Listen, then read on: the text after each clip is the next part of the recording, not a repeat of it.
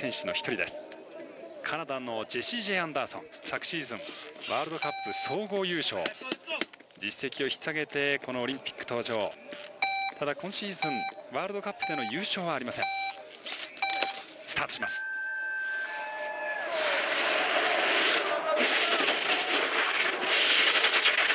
ちょっと大きいですね。大きいですか。あーっと叩かれてる。本当に昨シーズンは調子良かったんですが、本当に今シーズンちょっと成績も出てませんし、1秒84はかなり大きな遅れです。本人もちょっと痛みも切れてないのが、えー、今シーズンですね。あの説明と合ってないんですね、はい、本当に。とても姿勢が低く stay low でこう上手な選手なんですが、えー、ハーフパイプの試合にも出ますし、そうですね。器用な選手ですよ。総合力はあるんですが、タイムはどうか。ああ、大きく遅れました。ちょっときついですね。はい、39秒台は。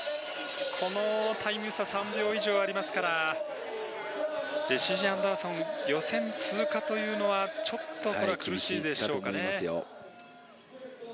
はい、ねこの辺もターンが大きく。はい。板もちょっとバタついてますね昨年のあれだけの活躍から今シーズンのこの、まあ、不振どのあたりに原因感じますか、まあ、いろんなこうボーダー